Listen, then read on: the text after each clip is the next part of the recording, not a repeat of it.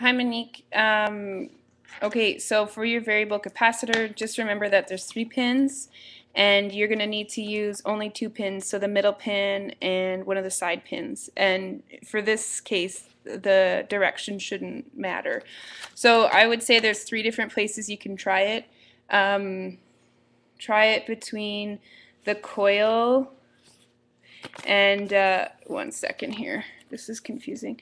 Try between the coil and the antenna. So attach one end to the coil, one end to the antenna, and then try turning it around and try attaching it to different taps as you do that.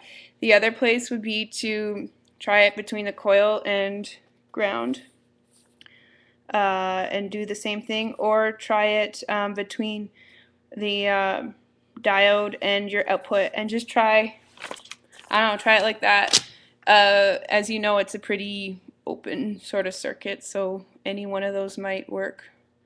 Good luck